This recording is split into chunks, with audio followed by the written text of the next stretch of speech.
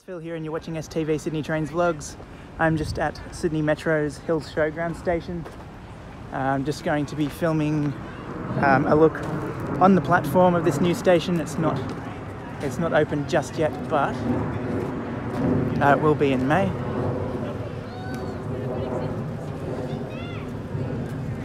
Uh, just a community open day sort of thing. Like it was um, sort of, yeah, you know, good.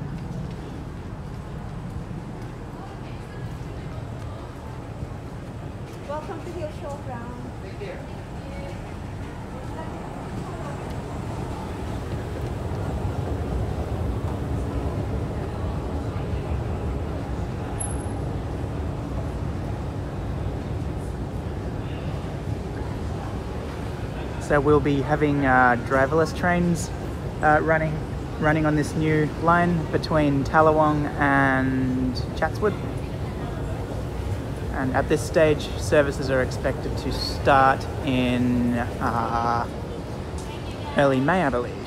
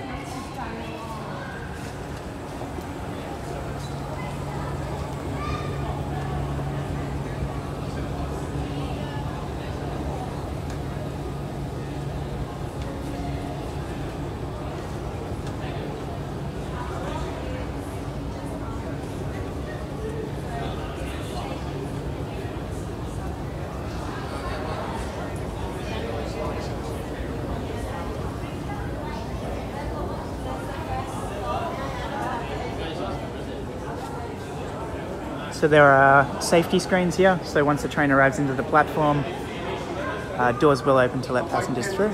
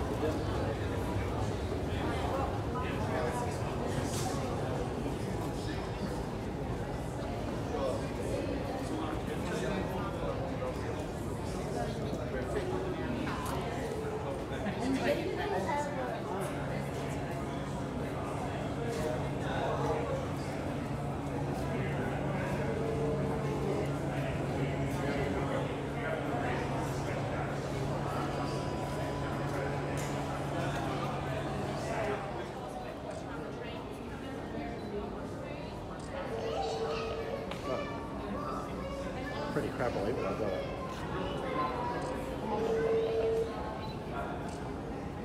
Oh yeah, yes. And they just light up like orange rather than LED lights and so on.